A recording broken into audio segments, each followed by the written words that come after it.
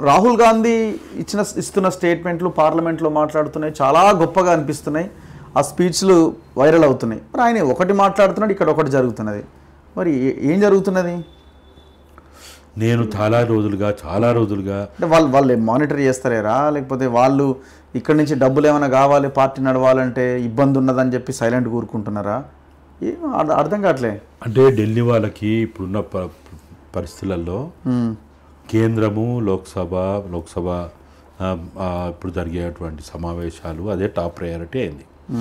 నేను అనుకోవడము రానున్న ఒక ఆరు నెలల్లో రాహుల్ గాంధీ పూర్తి స్థాయి నేను అది చాలా సందర్భాలు చెప్పిన మీరు అన్నట్టే రాహుల్ గాంధీ ఆలోచన విధానం రాహుల్ గాంధీ యొక్క ఆయనకున్న అభిప్రాయాలు ఆయన పేద సమ సమాజం కోరుకుంటాడు లేకపోతే పేదరికం పోవాలి అని కోరుకుంటాడు ఈ నిచ్చెన మెట్ల సమాజం పోవాలని కోరుకుంటాడు అంత పెద్ద గొప్ప వ్యక్తి నేను చెప్పను కానీ కానీ ఇప్పుడున్న అందరు పొలిటీషియన్లు కాంగ్రెస్ పార్టీలో ఉన్న అందరు పొలిటీషియన్ల కంటే ఆయనకు ఒక కొన్ని విషయాల్లో కొన్ని అభిప్రాయాలు ఉన్నాయి.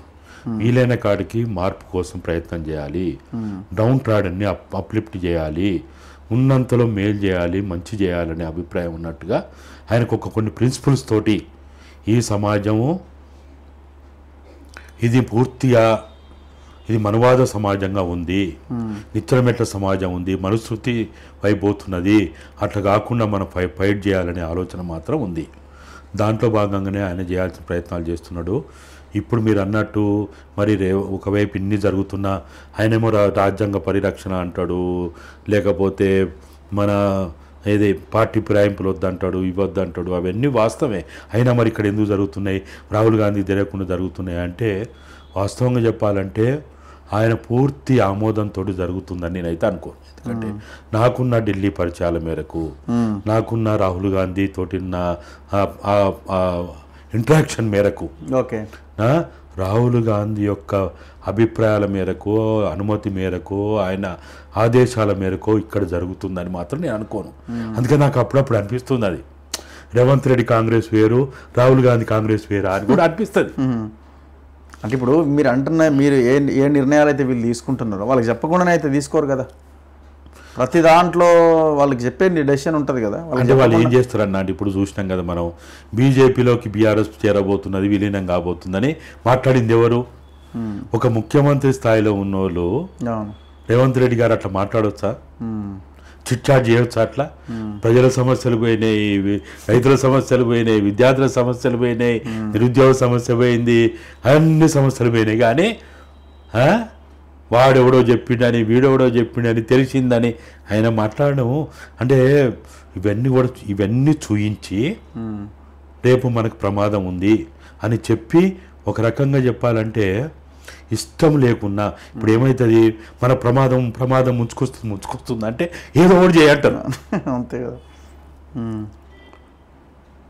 ఇప్పుడు పది సార్లు చెప్పి చెప్పి చెప్పి చెప్పిన తర్వాత వారు కూడా అరే ప్రమాదం ప్రమాదం ప్రమాదం అంటారు. ఏమైనా జరిగింది అనుకో మళ్ళీ నన్ను తప్పు పడతారు. అవును? కాబట్టి ఏదో చేసుకోపోండి అంటారు. వాస్తవంగా చెప్పాలంటే నాకు నాకు తెలిసిన కాడికి ఇప్పుడు జరుగుతున్న ఇక్కడ పాలనా విధానం మొత్తంలో కూడా. రాహుల్ గాంధీ ఆలోచన మేరకు ఆ- ఆదేశాల మేరకు ఆయన ఆయనకున్న విజన్ ఏదైతే ఉందో ఎందుకంటే నేను ఎన్నికలకు ముందు దాదాపుగా మూడు నాలుగు నెలలు ఢిల్లీలో ఉండి టెన్ జన్పత్ యొక్క ఆలోచన అంతా నేను దగ్గరగా ఉండి చూసినాను. ఇప్పటికీ గత కొద్ది రోజుల ముందు నన్ను ఢిల్లీ పిలిపించుకొని మూడు రోజులు నాతోటి ఢిల్లీలో ఉన్నటువంటి ప్రముఖులందరూ మాట్లాడి ఏం జరుగుతుంది ఎట్లా జరుగుతుంది ఏమవుతుంది మొత్తం నాలాంటి వాళ్ళు చాలామంది పిలిపించుకొని మాట నేనేమో పెద్ద ఇదని కాదు. నాలాంటి వాళ్ళని చాలామంది పిలిపించుకొని మాట్లాడుతున్నారు వాళ్ళు. కాబట్టి నేను అనుకోవడం పార్లమెంట్ ఈ లోక్సభ సమావేశాల తర్వాత పార్టీ ఢిల్లీ స్థాయి పై స్థాయి నుంచి ప్రక్షాళన మొదలుపెట్టింది కాబట్టి ఆల్రెడీ కర్ణాటకలో కొంత సమస్య మొదలైంది. దాంతోపాటు ఇక్కడ కూడా తలనొప్పి తెచ్చుకోవద్దు. ఇప్పుడు వాళ్ళు నేను మొదటి నుంచి చెప్తున్నా నాకు వాళ్ళు చెప్పింది కూడా ఒకటే. మహారాష్ట్ర హర్యానా ఢిల్లీ ఎన్నికలు అయ్యేంత వరకు చాలా సాఫ్ట్గా ఇట్లనే సూచిస్తున్నట్టే పోతారు.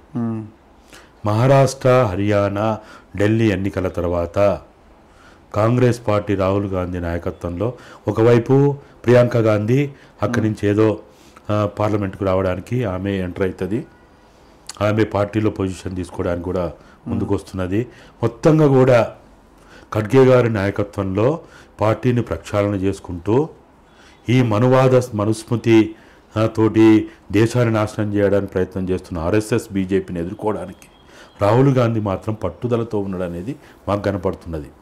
రైట్ ఇది మరి ఇది ఎంతవరకు ముందుకు పోతుంది? రాహుల్ గాంధీలో బలహీనతలు ఉంటాయి. రాహుల్ గాంధీ ఎన్నో. ఎన్నో రకాల వ్యక్తిగత బలహీనతలు ఉంటాయి శారీరక బలహీనతలు ఉంటాయి లేకపోతే ఆయన చుట్టూ ఉన్న ఒత్తిళ్ళు ఎన్నో ఉంటాయి. ఇవన్నీ ఉంటాయి. వీటన్నిటిని తట్టుకొని ఎంతవరకు ఏ విధంగా ముందుకు పోతాడో తెలంగాణ అనేది ఆయనకైతే టాప్ ప్రయారిటీలో ఉంది. ఎందుకంటే తెలంగాణ అనేదాన్ని ఒక ఎగ్జాంపుల్గా ఆయన విజన్ని ఇక్కడ ఇంప్లిమెంట్ చేయాలనే ఆశ ఆశయంతో అయితే ఉన్నాడు. ఎందుకంటే తెలంగాణ అనేది ఒక డెమోక్రటైజ్ అయినటువంటి. ఒక ప్రాంతం అనేది ఆయన ఆలోచనలో ఉన్నది. Okay. Because of communist party కావచ్చు బికాజ్ ఆఫ్ ఎంఎల్ పార్టీలు కావచ్చు బికాజ్ ఆఫ్ ఇక్కడ సోషల్ ఆర్గనైజేషన్స్ కావచ్చు హ్యూమన్ రైట్స్ ఆర్గనైజేషన్స్ కావచ్చు వీటన్నిటి వల్ల తెలంగాణ ప్రాంతంలో ఎక్స్పెరిమెంట్ చేద్దామనే ఆలోచన మాత్రం ఆయనకు బలంగా ఉంది.